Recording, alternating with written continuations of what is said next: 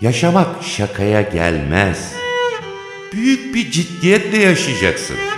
Bir sincap gibi mesela. Yani yaşamanın dışında ve ötesinde hiçbir şey beklemeden.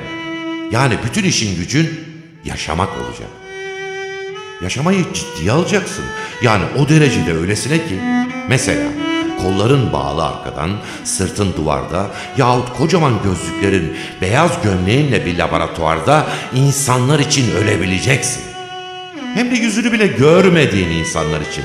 Hem de hiç kimse seni buna zorlamamışken.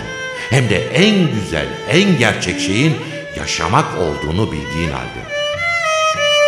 Yani öylesine ciddiye alacaksın ki yaşamayı. Yetmişinde bile mesela zeytin dikeceksin.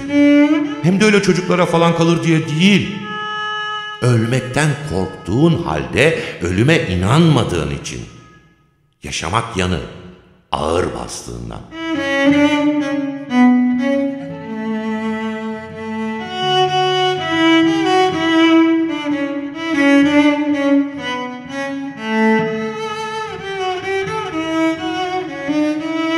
Diyelim ki ağır ameliyatlık hastayız.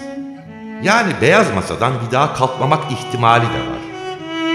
Duymamak mümkün değilse de biraz erken gitmenin kederini, biz yine de güleceğiz anlatılan Bektaşi fıkrasına. Hava yağmurlu mu diye bakacağız pencereden. Yahut da sabırsızlıkla bekleyeceğiz en son ajans haberlerini. Diyelim ki dövüşülmeye değer bir şeyler için diyelim ki cephedeyiz. Daha orada ilk hücumda daha o gün yüzü koyun kapaklanıp ölmek de mümkün. Tuhaf bir hınçla bileceğiz bunu. Fakat yine de çıldırasıya merak edeceğiz. Belki yıllarca sürecek olan savaşın sonunu. Diyelim ki hapisteyiz. Yaşımız da 50'ye yakın. Daha da 18 sene olsun açılmasına demir kapının. Yine de dışarıyla birlikte yaşayacağız.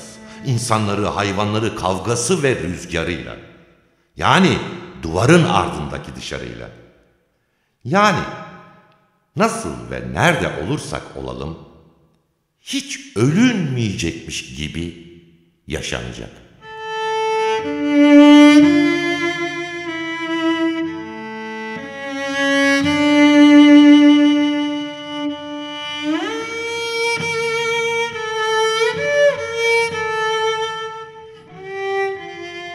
Bu dünya soğuyacak. Yıldızların arasında bir yıldız. Hem de en ufacıklarından. Mavi kadifede bir yaldız zerresi yani. Yani bu koskocaman dünyamız. Bu dünya soğuyacak günün birinde. Hatta bir buz yığını yahut ölü bir bulut gibi de değil. Boş bir ceviz gibi yuvarlanacak zifiri karanlıkta, uçsuz bucaksız. Şimdiden çekilecek acısı bunun. Duyulacak mahzunluğu şimdiden. Böylesine sevilecek bu dünya. Yaşadım diyebilmen için.